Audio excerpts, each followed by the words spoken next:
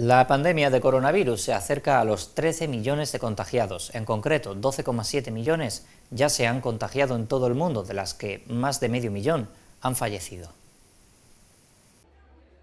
La pandemia de COVID-19 ha acumulado en las últimas horas 219.400 nuevos casos y el balance global de enfermos supera ya los 12,7 millones, de los cuales más de 565.000 han perdido la vida.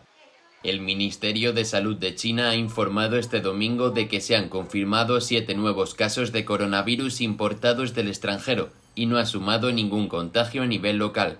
Hasta este domingo la China continental ha sumado un total de 83.594 contagios de la COVID-19, de los que 326 continúan en tratamiento, tres de ellos en condición grave.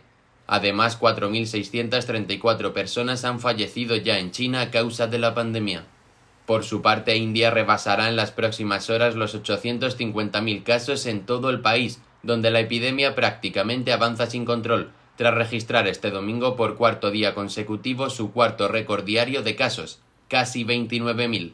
Del mismo modo, México ha superado este sábado a Reino Unido en número de casos, al sobrepasar los 295.000 contagios en el país y se consolida como el séptimo estado más afectado por la pandemia a nivel mundial en cuanto a número de positivos y en el continente europeo las autoridades de Alemania han informado este domingo otros 248 casos adicionales de coronavirus y tres fallecidos más en las últimas 24 horas.